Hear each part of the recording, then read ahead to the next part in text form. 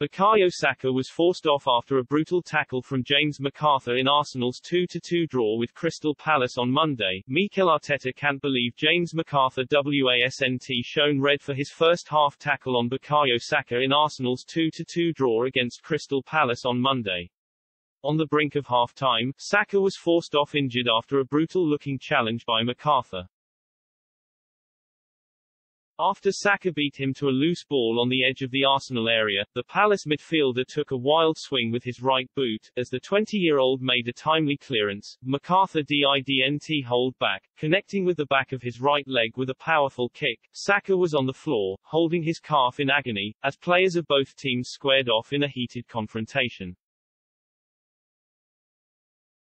But Mike Dean only brandished a yellow card to McArthur, much to the displeasure of the Emirates Stadium crowd watching on. In his post-match interview, Arteta shared his disbelief over how the 34-year-old stayed on the pitch following the foul. He told Sky Sports, We had to take him, Saka, off because he could not continue, he was very sore in the area.